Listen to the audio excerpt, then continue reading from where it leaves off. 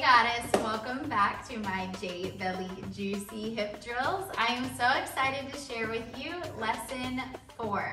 We are going to be doing a single hip figure eight, okay? So this movement, we need to engage the core so we're protecting our spine the entire time.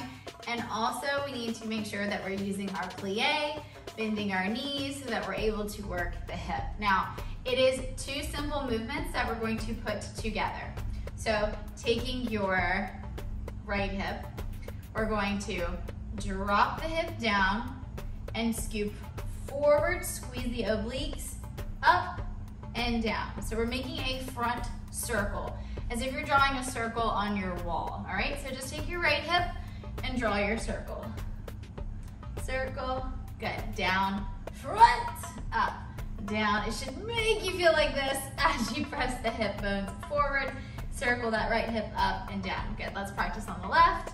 This is move one of our figure eight. So up and around, up and around. I'm so happy you're here.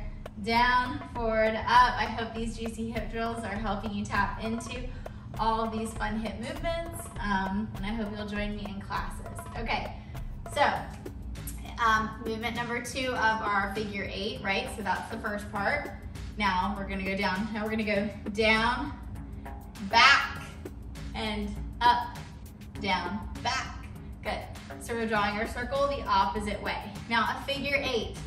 Take the number eight, we turn it on its side. So we are drawing the front circle of the eight through the infinity, the back circle of the eight.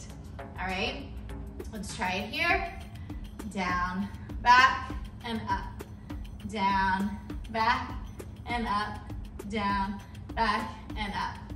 So if we were to draw a figure eight, we're going down, front, up, down, back, up, yeah?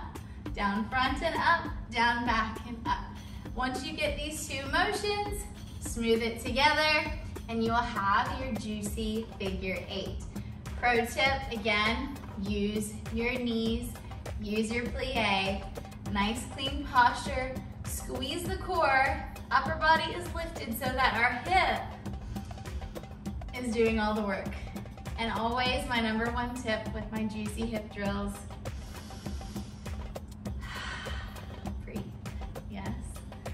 Breathe, breathe, breathe. Now you can start to play with the foot even, depending on the dress you're wearing, if you're wearing a costume that has like a flowy skirt and you wanna dip into your figure eight and then flick up your skirt. So there's so many things we can do with this juicy hip drill. Um, ask me in the comments um, questions. I always check them. I will reach back to you as best and as soon as possible as I can. Um, or visit me on my website, JanelleIssis.com. You can chat me there and I'll respond even faster. Um, yeah. If you want a private lesson or if you want to join an online class, I hope to see you there. So let's just play, play with that hip, up and down. Make sure we're going through the center. There you go. I will see you in lesson five, the twist, very soon. So see you next week for lesson five.